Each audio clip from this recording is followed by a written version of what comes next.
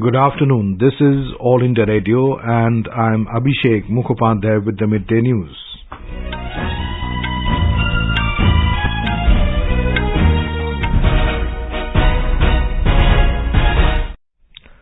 The headlines. Prime Minister Narendra Modi and German Chancellor Olaf Scholz hold talks in New Delhi. Prime Minister says the youth and the future have been given the most importance in the Union Budget 2023-24. Campaigning for assembly polls in Meghalaya and Nagaland to end this evening. European Union agreed to a new round of sanctions against Russia on the first anniversary of Russia-Ukraine conflict. And in tennis, Indian pair of Anirudh Chandrasekar and N. Vijay Sundar Prashanth to play against the Taiwanese Korean pair of Wai Su and Wai Chung today in the doubles final of Bangalore Open ATP Challenger Tournament.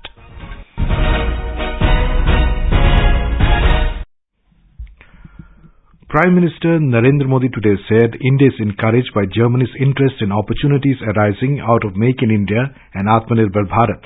In his press statement after holding talks with German Chancellor Olaf Scholz in New Delhi, Mr. Modi said Chancellor Scholz understands the many possibilities of India-German ties. He said they discussed the issues of mutual interest. आज की बैठक में भी हमने सभी महत्वपूर्ण द्विपक्षीय मुद्दों तथा क्षेत्रीय एवं अंतर्राष्ट्रीय विषयों पर विस्तार पूर्वक चर्चा की। भारत और जर्मनी के मज़बूत संबंध, साझा लोकतांत्रिक मूल्यों और एक दूसरे के हितों की डीप अंडरस्टैंडिंग पर आधारित है। दोनों देशों के बीच सांस्कृतिक एवं आर्थिक आदान प्रदान का भी लंबा इतिहास रहा है। विश्व की दो बड़ी लोकतांत्रिक अर्थव्यवस्थाओं के बीच बढ़ता सहयोग दोनों देशों की जनता के लिए तो लाभकारी है ही आज के तनावग्रस्त विश्व में इससे एक सकारात्मक संदेश भी जाता है The leaders reviewed progress and key outcomes of the sixth intergovernmental consultation held in May last year. They discussed ways to strengthen defense and economic cooperation, enhance talent mobility and widen science and technology collaboration. This is the fourth time that the two leaders met in the span of a year, underscoring the mutual commitment to growth of the Indo-German partnership. German Chancellor Olaf Scholz arrived in New Delhi this morning on a two-day visit to India. He is accompanied by senior officials and a high-powered business delegation. He was accorded a ceremonial welcome at the forecourt of Rashtrapati Bhavan. The two leaders also interacted with CEOs and business leaders of both sides. Chancellor Scholz will call on President Draupadi Murmu. Prime Minister Narendra Modi today said that the youth and their future have been given the most importance in the Union Budget 2023-24. Addressing the post-budget webinar on harnessing youth power, skilling and education this morning, Mr. Modi said, this budget focuses on and builds the foundation for a practical and industry-oriented education system. Skill और education ये अमृत काल में देश के दो सबसे महत्वपूर्ण tools हैं विकसित भारत के विजन को लेकर देश की अमृत यात्रा का नेतृत्व हमारे युवा ही कर रहे हैं इसलिए अमृत काल के इस प्रथम बजट में युवाओं को और उनके भविष्य को सबसे ज़्यादा अहमियत दी गई है He pointed out that education sector has been a victim of rigidity and his government has tried to change it.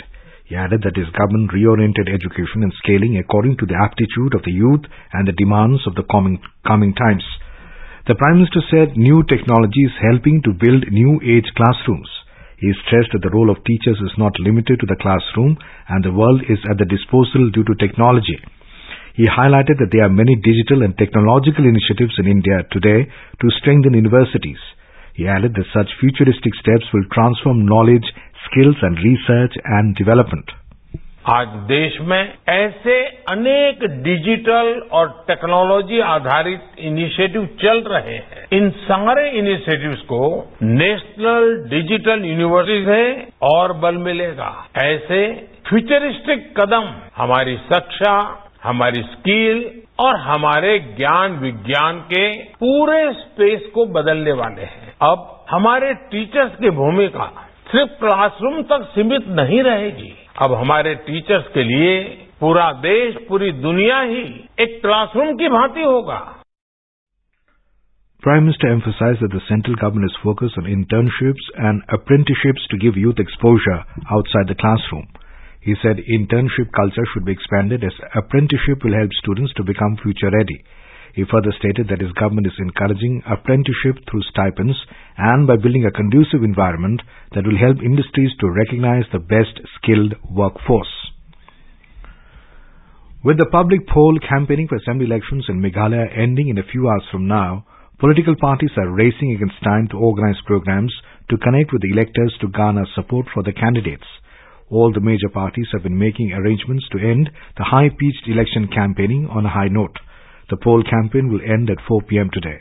More from a correspondent. A total 369 candidates, including 36 women and their supporters, held a high voltage campaign for the past about a month in Meghalaya. The state witnessed public meetings, mega rallies, road shows, besides door-to-door campaign, along with the distinctive Meghalaya music and songs to garner electorate support. The star-studded campaign has seen several top leaders of various political parties, including BJP senior leader and Prime Minister Narendra Modi and Chief Minister of Assam, Dr. Himanta Biswa Sarma and his West Bengal Bengal counterpart Mamata Banerjee, among others. Several parliament members of different parties also descended to Meghalaya in support of their party candidates. With public poll campaigning coming to an end, all major parties are taking on to social media to reach out to electors. Meanwhile, dispatch of poll parties commenced for 3,419 polling stations in 59 assembly constituencies. The first poll party will leave for Rangcheng polling station as it needs to trek 8 kilometers distance distance to reach from the last motorable point in South Garo Hills district. Lakshmi, AIR News, Shillong. In Nagaland, campaigning will come to an end this evening. All political parties and candidates will make last efforts to attract the voters. Over 13 lakh eligible voters will decide the fate of 183 candidates in 59 assembly constituencies of the total of 60 seats. 12 political parties from the national and the state, along with independents, are in fray. All necessary arrangements are put in place in 2,315 polling stations spread across the district of Nagaland for smooth and safe conduct of election, which is scheduled on Monday. Chief Electoral Officer Nagaland V. Shashank Shekhar said CCTV surveillance have been installed in all the critical or vulnerable polling stations across the state with either webcasting or offline videography. He said a minimum of 50% of polling stations in each district are being covered. 305 companies of Central Armed Police Force are being deployed in the state, including Gujarat Police and Chandigarh Women Police being deployed for the election duty. Asunyo AIR News, Kohima.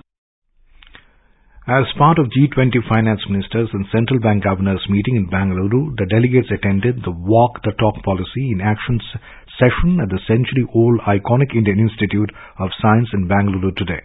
The delegates were introduced to Indian tech innovations. The innovators interacted with the finance minister and other delegates about the technology that can bring about inclusive development at affordable rates. Prime Minister Narendra Modi will inaugurate Barisu Kannada Dim Dimava Cultural Festival at Talkatora Stadium in New Delhi this evening. He will also address the gathering on the occasion. Barisu Kannada Dim Dimava Cultural Festival has been organized to celebrate Karnataka's culture, traditions and history. It is in line with the Prime Minister's vision of Ek Bharat Shresth Bharat. The festival being held under the aegis of Azadi Ka Amrit Mahotsav will provide an opportunity to hundreds of artists to showcase Karnataka's cultural heritage through dance, music, drama and poetry.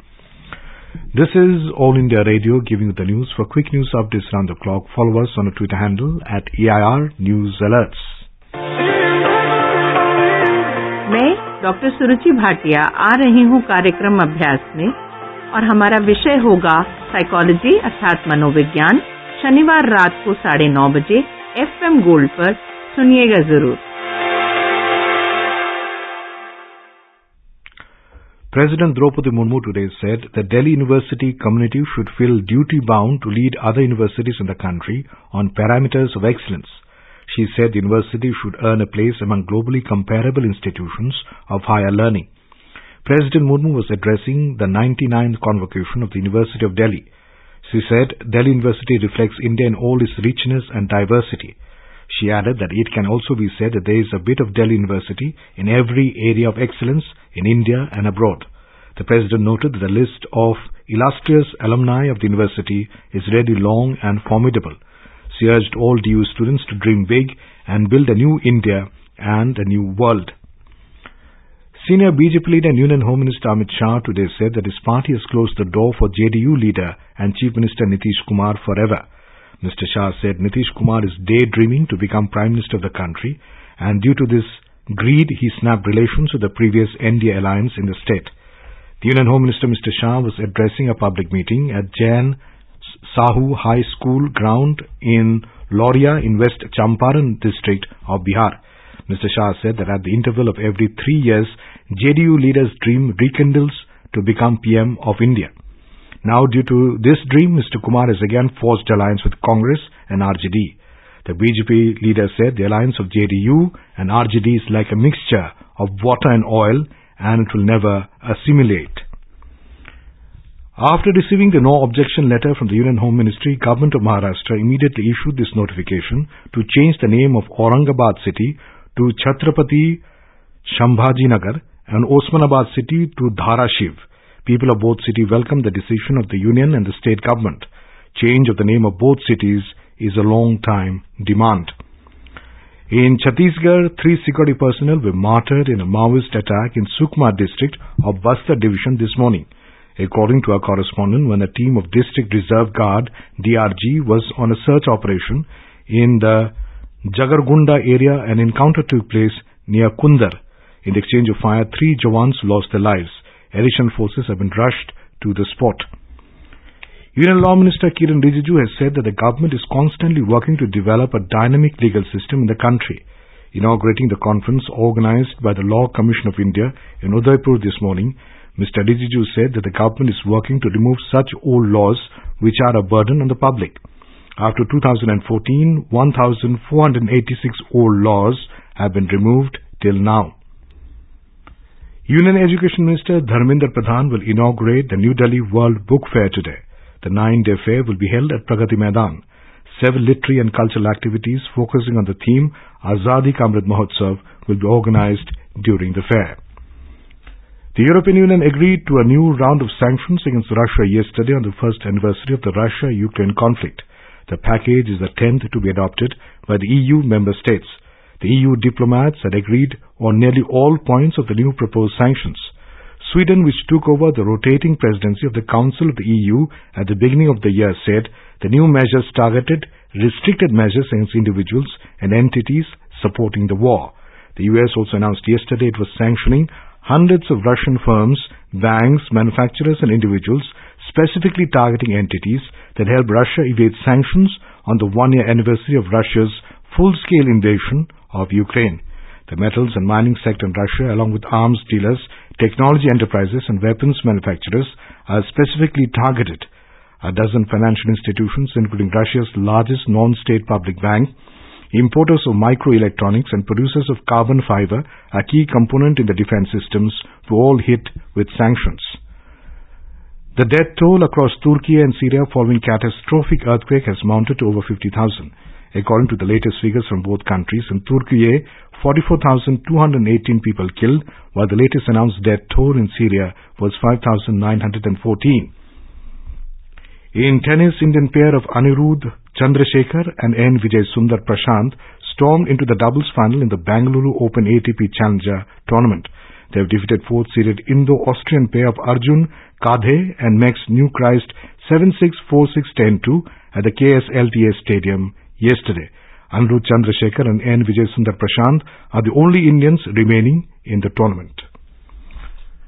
And now, before we end the bulletin, the headlines once again.